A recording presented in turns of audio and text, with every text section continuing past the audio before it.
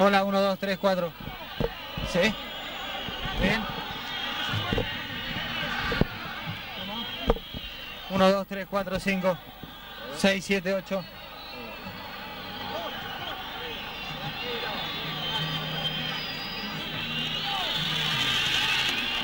Miguel, Miguel. Javier. Javier, bueno, me imagino que deben doler estos silbidos, más allá de si jugaron bien o mal.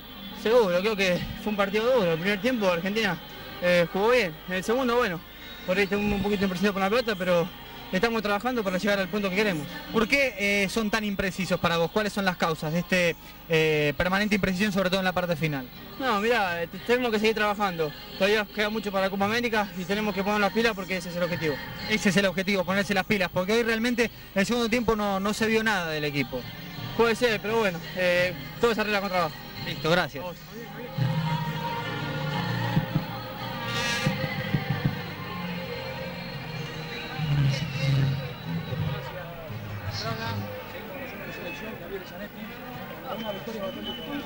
Leo. Leo, más allá del rendimiento del equipo, duelen estos silbidos, ¿no? Sí, pero hay que tener en cuenta de que la gente por ahí viene a buscar un 4, un 5 a 0. Nosotros queremos lograr el funcionamiento que venimos practicando durante la semana, creo que por momento lo logramos. Y bueno, creamos bastantes situaciones de gol, lástima que no pudimos convertir más. ¿Para vos creés que, que se mejoró respecto del equipo que jugó frente a Sudáfrica? Sí, se mejoró, se mejoró bastante. Hoy por momentos se, se presionó bien, tuvimos bien la pelota, por ahí nos falta un poquito más de, de precisión, pero bueno, creo que este equipo con el trabajo que viene realizando puede seguir mejorando día a día. Te tranquilizo, lo de Ayala no es nada, por suerte, es un golpe. Si no lo sabías, bueno, bien vale la noticia. Sí, la verdad que, que bueno, es una noticia muy, muy buena porque bueno, en el partido habíamos pensado que se, que se había lastimado, pero bueno, por suerte va a poder estar rápido. Listo.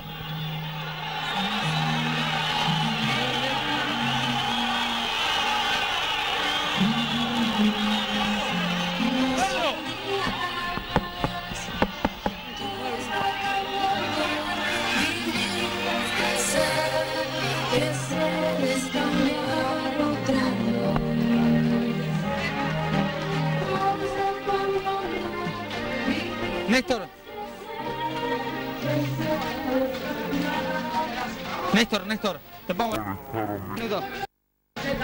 Néstor.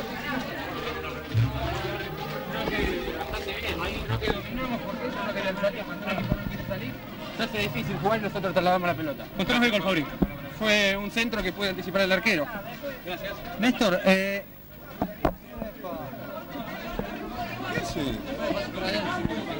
Eh, flaco. Eh, pero Sí, que después, bueno, en la Copa América o en las competiciones importantes eh, saquen todo el potencial que este equipo, por lo menos con estos jugadores, tiene que dar. Te conoce todo el mundo, pero ¿a qué medio representás? Eh, a todos noticias, me llamo Juan Pablo Vargas. Gracias, eh. Gracias. Para ustedes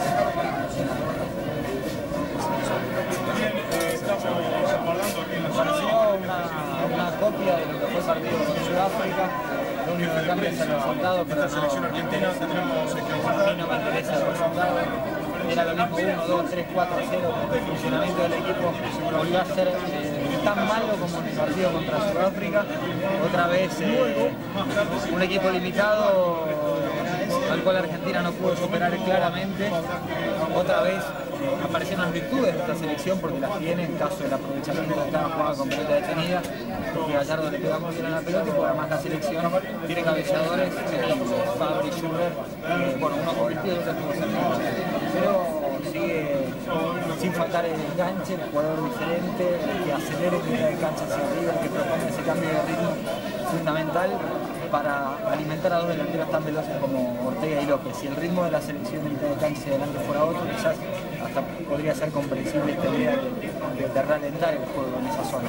Pero al tener dos delanteros tan tan rápidos, la idea es eh, sacar un pelotazo y jugar a esa misma velocidad. La selección no lo pudo conseguir nunca. Por suerte lo de Ayala no es nada, así que ni siquiera hay que lamentar una lesión. Ojalá que estos sigan siendo partidos de entrenamiento y de ensayo. En la Copa América muestre algo de lo que deberá mostrar obligatoriamente en las eliminatorias si se quieren clasificar para el Mundial. Yo estoy de acuerdo con Pasarela que el principal objetivo es estar en Francia 98, pero tampoco me parece que dispuesto a resignar toda competición que se juegue con tal de después estar en la Copa del Mundo. Creo que hay muchas competiciones en juego que se pueden ganar, que se juegan para ganar y que además se aprovechan para formar el mejor equipo para el. Creo que depende mucho de los jugadores eh, que están compitiendo afuera que está bien. La Argentina tiene futbolistas riquísimos en Europa y no los voy a descubrir yo. Quizás en estos partidos sí se note que, la selección necesita de los jugadores que están en Europa. Que se puede armar una base acá, pero que tiene que estar fortalecida eh, sin lugar a dudas por los jugadores que paren alguno u otro.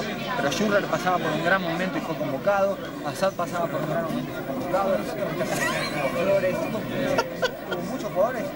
Reclamaban por sus buenas actuaciones un lugar en la selección y lo han tenido.